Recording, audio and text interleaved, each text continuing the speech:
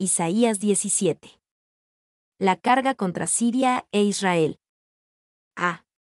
Una profecía de condenación sobre Siria e Israel. 1. 1 a 6. El Señor habla a Damasco y a Efraín. Profecía sobre Damasco. He aquí que Damasco dejará de ser ciudad, y será montón de ruinas. Las ciudades de Héroe están desamparadas, en majadas se convertirán, dormirán allí, y no habrá quien los espante y cesará el socorro de Efraín, y el reino de Damasco. Y lo que quede de Siria será como la gloria de los hijos de Israel, dice Jehová de los ejércitos. En aquel tiempo la gloria de Jacob se atenuará, y se enflaquecerá la grosura de su carne. Y será como cuando el segador recoge la mies, y con su brazo ciega las espigas. Será también como el que recoge espigas en el valle de Refaim.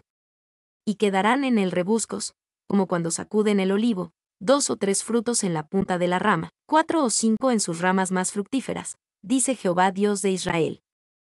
Ah, Damasco, esta fue una de las grandes ciudades del mundo antiguo y la capital de la antigua nación de Siria. Siria está ubicada en el noreste inmediato de Israel. Y las tribus del norte, alrededor del mar de Galilea, tenían contacto e interacción constantes con Siria.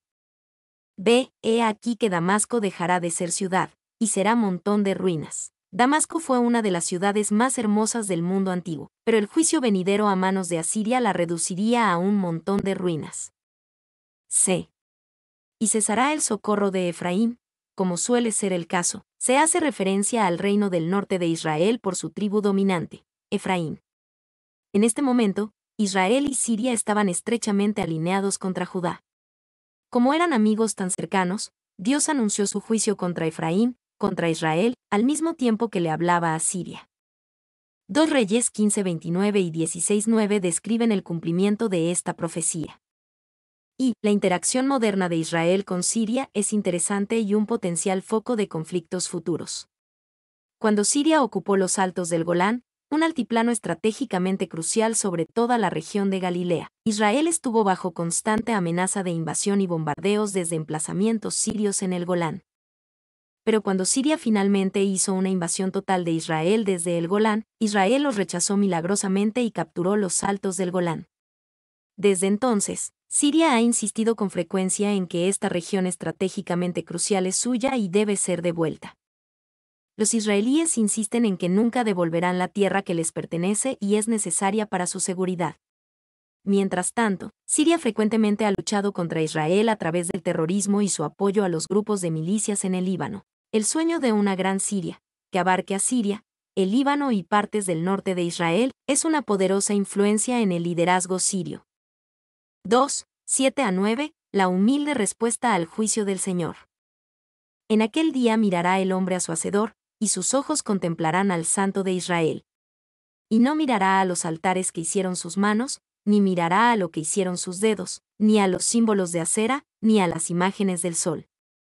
En aquel día sus ciudades fortificadas serán como los frutos que quedan en los renuevos y en las ramas, los cuales fueron dejados a causa de los hijos de Israel, y habrá desolación. Ah, en aquel día mirará el hombre a su hacedor, y sus ojos contemplarán al Santo de Israel. En medio de un juicio tan severo, algunos responderán como deben, con humilde respeto hacia Dios. Ve, y no mirará a los altares que hicieron sus manos. Uno de los propósitos de Dios en el juicio es desviar nuestra atención de nuestros ídolos y las cosas en las que hemos confiado en lugar de Él. Esto habla de que este propósito se está cumpliendo. C. Sus ciudades fortificadas serán como los frutos que quedan en los renuevos. En el juicio, Dios despojaría a Israel de todo lo incorrecto en lo que pudieran haber confiado altares paganos, símbolos de acera, imágenes del sol, e incluso sus ciudades fortificadas no les brindarían protección.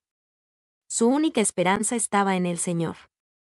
Y, cuando los israelitas entraron en la tierra de Canaán muchos años antes, las ciudades fuertes de la tierra les fueron abandonadas.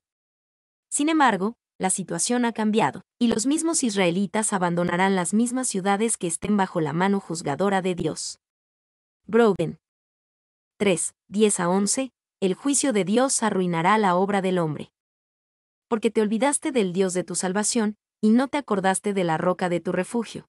Por tanto, sembrarás plantas hermosas, y plantarás sarmiento extraño.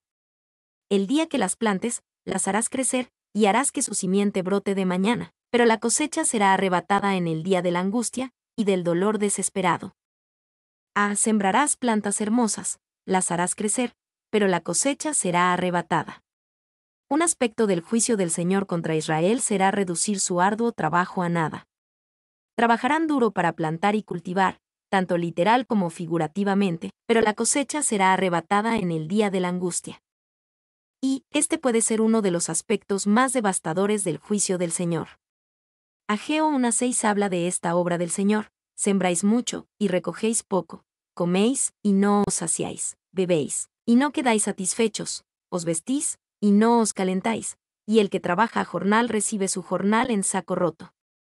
Cuanto mejor es escuchar a Jesús y que Él dirija y bendiga nuestro servicio, Lucas 5, 1, 10. B. Porque te olvidaste del Dios de tu salvación. Por eso el Señor trajo este juicio sobre Israel. De alguna manera, esto no parece un gran pecado. Después de todo, ¿por qué necesita Dios que lo recordemos? ¿Por qué no podemos simplemente dejarlo en paz y que Él nos deje en paz?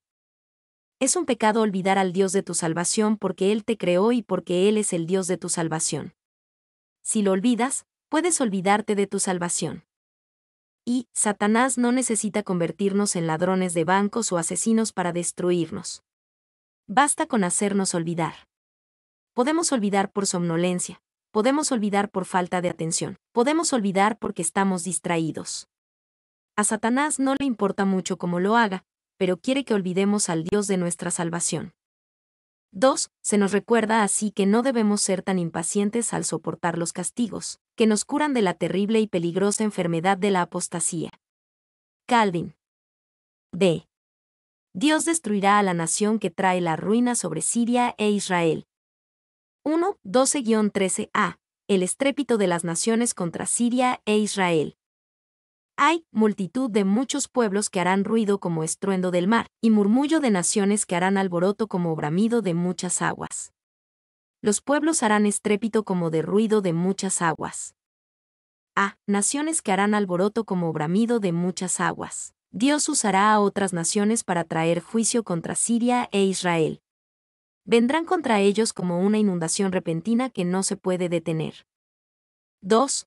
13b 14. El juicio de Dios contra las naciones que se apresuran contra Israel. Pero Dios los reprenderá, y huirán lejos, serán ahuyentados como el tamo de los montes delante del viento, y como el polvo delante del torbellino. Al tiempo de la tarde, he aquí la turbación, pero antes de la mañana el enemigo ya no existe. Esta es la parte de los que nos aplastan, y la suerte de los que nos saquean. Ah, Dios los reprenderá. Cuando Dios trae el estrépito de naciones contra Israel, no significa que las naciones que usa para juzgar estarán bien con él y serán exentas de juicio. En cambio, Dios los reprenderá, y huirán lejos. Dios puede usar a un pecador para juzgar a otro y luego juzgar al pecador que acaba de usar. B. Esta es la parte de los que nos aplastan, este es un principio consolador, incluso en medio del juicio. Dios muestra misericordia. Por muy malo que fuera para Israel, podría haber sido peor. En cambio, Dios lo permitiría por un tiempo y luego reprenderá a los que atacaron a Israel. Israel no estaba a merced de las circunstancias ni de sus enemigos, estaban a merced de Dios. Mi nombre es Demim. Soy tu asistente personal. Mi sitio en internet es demim.es.tl